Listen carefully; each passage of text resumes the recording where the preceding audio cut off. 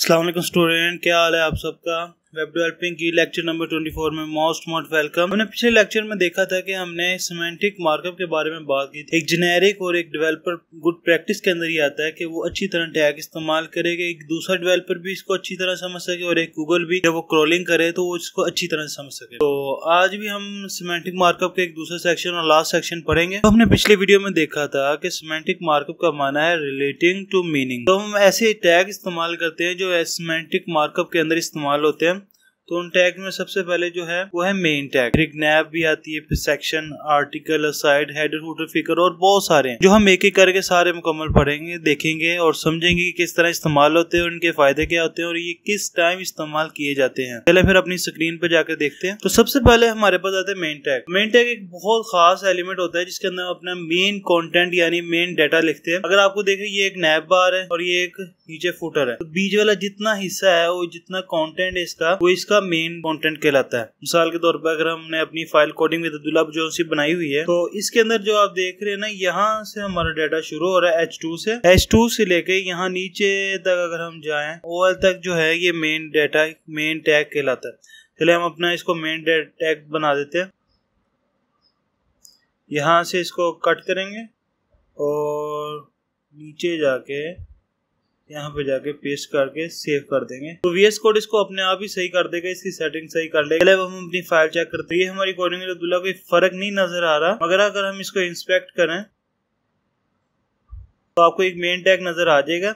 इसमें तमाम कंटेंट नज़र आ रहा होगा, ये आप देख सकते हैं। इसको मोबाइल से मैं खत्म करता हूँ तो ये आपको डेस्कटॉप वर्जन में। तो अगला एलिमेंट है जो बहुत ही इस्तेमाल होने वाला और ज़्यादा इस्तेमाल होने वाला एलिमेंट है, जो हर वेबसाइट की एक बहुत बड़ी ज़रूरत होती है, वो है नेविगेशन सेक्शन नेविगेशन सेक्शन ये होता है कि जिसके अंदर हमारे लिंक्स होते हैं और एक ग्रुप लिंक दूसरे पेज तक जाता है। तो ये मिसाल के तौर पर टेक्नोलॉजीज़ है, ये जितने यहाँ भी हैं और अगर हम ये देखें फीडबैक यहाँ पे भी जितने इस्तेमाल हुए हैं, ये एक नेविगेशन एलिमेंट के ज़रिए नैप टैग के ज़रिए इस्तेमाल हुए तो यहाँ पर मैं एक नैप का टैग बनाता हूँ, के अंदर एक यू बनाता हूँ, फिर एक एलआई बनाता हूँ, फिर एक एंकर टैग के ज़रिए एक डेट लिंक बनाता हूँ और इसके अंदर लिख देता हूँ अबाउट पेज फिर इसको डुप्लीकेट करता हूँ, यहाँ पे लिख देता हूँ प्रोडक्ट तो एक हमारा सिंपल सा एक बेसिक सा एक नेविगेशन बार बन गया, जिसे अभी हमने कोई डिज़ाइनिंग कुछ भी नहीं किया, वो हम सी एस एस की मदद से करेंगे और इसको ब्यूटीफुल से ब्यूटीफुल बना देंगे। यहाँ से इसको सेव करते हैं। अब यहाँ पे रिफ्रेश करते हैं। तो एक सिंपल सी नेविगेशन यहाँ बार आप देख सकते हैं कि हमारी बन गई, जिसके अंदर तीन हमने पेज बनाया है। अभी तक हमने इसको लिंक नहीं किया,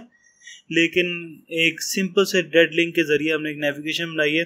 जो इतनी प्यारी नहीं लग रही, लेकिन एक फिर भी आपको एक आइडिया हो रहा है कि नेविगेशन बार किस लिए इस्तेमाल होती है। अगला एलिमेंट है जिसके मतलब हम बात करेंगे, वो है आर्टिकल एलिमेंट आर्टिकल एलिमेंट होता है जिसके अंदर हम थोड़े से न्यूज़ वगैरह या आर्टिकल वगैरह लिखते हैं।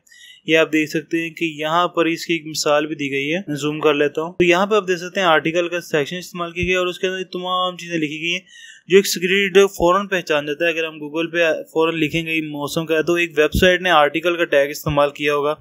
और वो आपको जल्दी गूगल पे शो हो जाता है। इस तरह एक और एलिमेंट है जिसको असाइड एलिमेंट कहते हैं। असाइड एलिमेंट होते हैं जो साइड की बार से इस्तेमाल होती है। जिस तरह ये इस्तेमाल हो रहा है ना, ये आपके जो बाएँ तरफ़ ये जो रिलेटेड टॉपिक्स वगैरह जितना कुछ है, ये एक असाइड एलिमेंट के अंदर इस्तेमाल हुआ है। अब मिसाल के तौर पे यहाँ पे देखें तो साइड के अंदर ये जो पैराग्राफ हुआ है, जो यहाँ पे लिखा हुआ है पैराग्राफ द रफ स्किन तो ये जितना भी जो हम साइड बार्स पे लिखते होते हैं तो ये साइड सेक्शन के अंदर लिख देते हैं। तो अगला एलिमेंट है जो एक बहुत ही इंपॉर्टेंट और कॉमन यूज़ होने वाला है हेडर और दूसरा इसका जो है साथ वाला, वो है फुटर हेडर ये जो अगर हम एक नेविगेशन को एक पूरे जिस चीज़ के अंदर रख सकते हैं, वो हेडर होता है। और जो ये नीचे आप देख सकते हैं फुटर ये आपका जितना सारा डाटा यहाँ पे लिखा हुआ है, ये एक फुटर होता है, शुमार होता है। तो अब हम अपनी ये एस्टिमल फ़ाइल का एक हेडर बना लेते हैं और एक फुटर बना लेते हैं। यहाँ पर मैं नेविगेशन के ऊपर हेडर इसको यहाँ से कट करते हैं कंट्रोल एक्स की मदद से, और यहाँ पे पेस्ट करके। अब यहाँ पर मैं और एच वन भी लिख सकता हूँ। और बिल्कुल इसी तरह इसके नीचे मेन के बाद फूटर यहाँ पर मैं लिंक दे देता हूँ। कॉन्टेक्ट हेल्प यहाँ में इसे सेव करता हूँ। यहाँ पर मैं दोबारा रिफ्रेश करता हूँ तो ये हमारा जितना पूरा एक हिस्सा है, यहाँ पे से इंस्पेक्ट करते हैं। तो अगर मैं इसे जूम करके आपको दिखाऊँ तो आपको एक खास नज़र आ रहा होगा कि यहाँ पे बॉडी के नीचे हेडर है। हेडर के अंदर एक नैब बार है नैब बार के अंदर यू है और एल आई है, जो पूरा यहाँ पर अगर हम माउंट करके देखते हैं तो ये सारा हेडर शुमार होता है। फिर उसके बाद हम नीचे जाते हैं। ये कॉन्टेक्ट और ये एक फूटर के अंदर हो रहा है। अगर हम यहाँ पे इसको करते हैं तो ये आपको एक फूटर नज़र आ रहा है। यहाँ पे पर्पल कलर में भी नज़र आ रहा होगा तो नेक्स्ट एलिमेंट है जिसके बारे में हम बात करेंगे, वो टाइम का है। कई दफ़ा हम अपने ब्लॉग में या कोई आर्टिकल लिखते हैं या कोई इस तरह का कोई ब्लॉग बनाते हैं तो उसके अंदर टाइम इंक्लूड करना होता है कि टाइम इतनी देर पहले अपलोड हुआ है या इतनी देर हुआ है कि यूट्यूब में भी आप देखते हैं ना तो आपको पता लगता रहता है टाइम तो वो एक सब तो वो सब एक टाइम एलिमेंट के ज़रिए शो आपको नज़र आ रहे होते हैं. जिस तरह आप ये देख सकते हैं कि यहाँ पे टाइम इस्तेमाल किया गया है, लेकिन यहाँ पे पी टैग के अंदर टाइम का एलिमेंट इस्तेमाल करके उसके अंदर जुलाई सेवन लिखा हुआ है. और ये हमें मदद भी करता है और एक स्क्रीन रीडर को भी मदद देता है कि ये कितना पुराना आर्टिकल है, कितना पुराना नहीं है। नेक्स्ट एंड लास्ट मैं आपके सामने रखूँगा, वो है फिगर फिगर एक एक तस्वीर की तरह एक इस्तेमाल होता है और इसके अंदर हम जो इसके अंदर इसके अंदर एक और एलिमेंट भी इस्तेमाल होता है फिक कैप्शन तो वो लगाकर हम ये देख एन एलिफेंट एट सनसेट इसके अंदर लिखा हुआ है। तो ये फिक कैप्शन के अंदर इस्तेमाल हुआ है। तो फिक कैप्शन एक दूसरा है। ये तमाम जितने भी मैंने आपके सामने एलिमेंट रख रहे हूँ, तमाम के लिंक्स मैं आपको नीचे प्रोवाइड कर दूँगा डिस्क्रिप्शन में। अगर आपको हमारी वीडियो अच्छी लगी तो लाइक एंड सब्सक्राइब का बटन ज़रूर दबाएँ, ताकि हमें हौसला मिलता रहे आपके लिए नई से न्यूज़ वीडियो लाने का। नेक्स्ट वीडियो से हम इंशाल्लाह एचटीएमएल के नेक्स्ट लेवल यानी टेबल और फॉर्म की तरफ़ जाएँगे। तो हमारी वेब डेवलपिंग की पूरी सीरीज़ शुरू है। अगर आपको पसंद है आप देखें तो शुरू से जाए प्ले में जाके देखें, आपको बहुत फ़ायदा होगा। असला